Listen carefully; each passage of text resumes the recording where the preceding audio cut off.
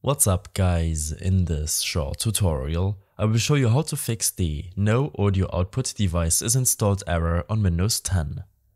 This should be quite an easy tutorial, everything you need will be listed in the description below. First, you will need to run the audio troubleshoot in your Windows settings.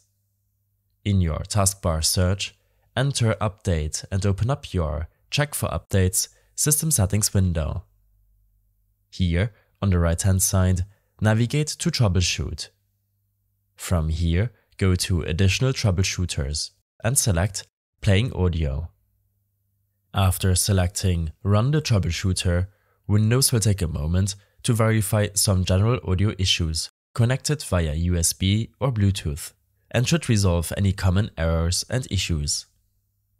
In case the issue persists, then you will need to make sure that your audio device's driver is up to date.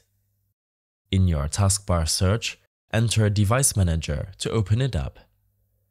Here, expand Audio Inputs and Outputs and right-click the device which is related to your audio output issue. Select Update Driver and then search automatically for drivers. This will take a moment to download and install the most recent device driver and can help a lot in fixing the no audio output device is installed error you are getting. When this is done, scroll down and expand your sound, video and game controllers. Repeat the same step for your audio output device here.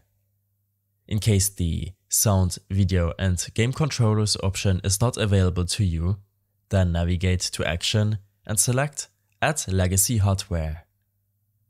On this window, click on Next and select Install the hardware that I manually select from a list.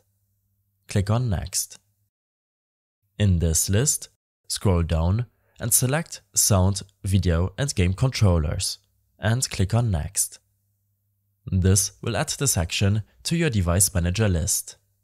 Make sure to restart your PC in order to apply these changes and your audio output error should be resolved.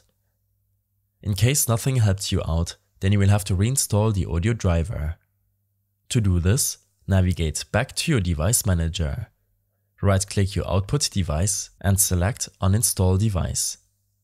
Once it's uninstalled, you will need to restart your PC again, and then Windows will reinstall the driver for your audio device.